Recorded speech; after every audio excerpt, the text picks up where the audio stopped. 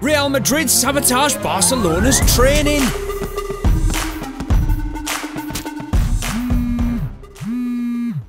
Hello, this is Chuy Suarez. Hello, Mr. Suarez. This is Er Dr. Uh, Ronald at Liverpool Hospital speaking. What do you want, Liverpool man? I'm training for El Clasico. I'm afraid we finally got your sexually transmitted infection test back from a few years ago.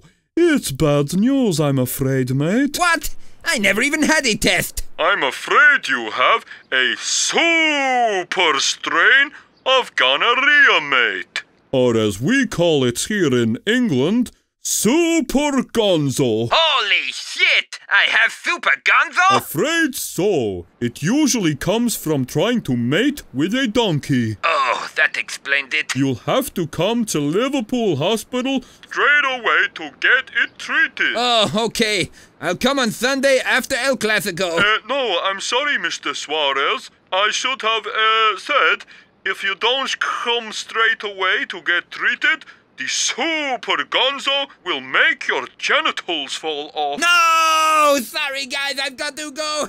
I've got super gonzo.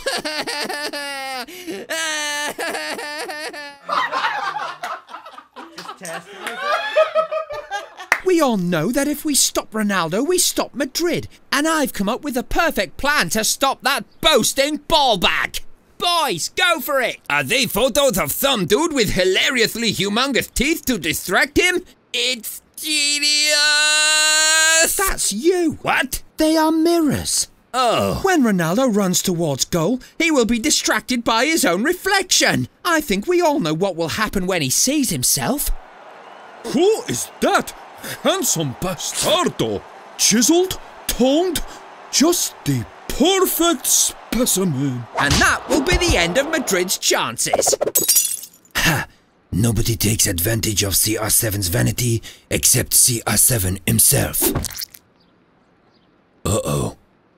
Click below to watch Barca wreck Real Madrid's training. And make sure you're using the free Onefootball app to keep up to date with everything related to El Clasico this weekend. Please make it a good game. Thanks for watching.